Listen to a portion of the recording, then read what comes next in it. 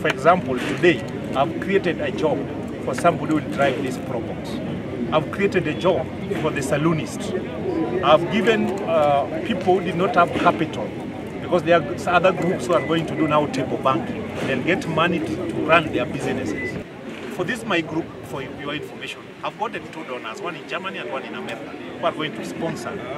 Do I say fund? You know what? The word sponsor nowadays is being misused. But we have donors who are going to help my groups, especially the first 10, to get more funding so that whatever activity they are doing, uh, they can scale it up. We gotten some money, 1 million, and remember, I disbursed it. We are going to disburse another money for 15 groups very soon. I want this money to be a revolving fund. I don't want giving it as a token. We want a group, we give them money, we stabilize their capital. After a period of time, they return the money, we, we increase the, whatever they got, but as well other groups also benefit from this.